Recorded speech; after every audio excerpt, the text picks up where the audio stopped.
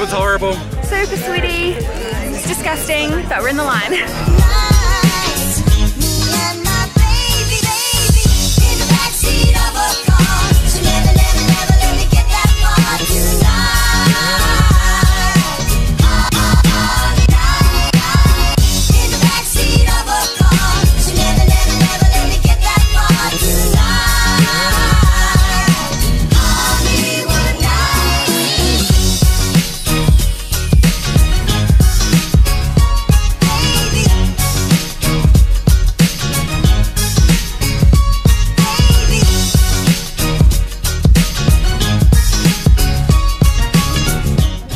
gosh, we made it. We're now 3,000 meters up and that is Machu Picchu.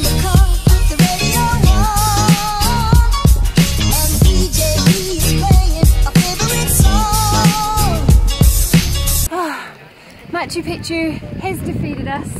No, we've conquered Machu Picchu. Oh yeah, we have conquered Machu Picchu, but it's time to go.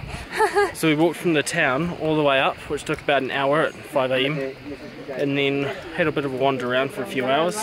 Then we went to the uh, Machu Picchu mountain. So the town is, the ruins are kind of called Machu Picchu, but there's Machu Picchu mountain as well.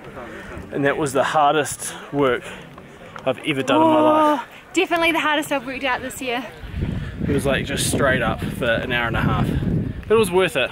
Yeah, the views from the top were really good. But now it's like one o'clock and we've got like another hour to walk back and I'm so thirsty, so And we're gonna go to the hot, hot box, the natural Yeah. springs.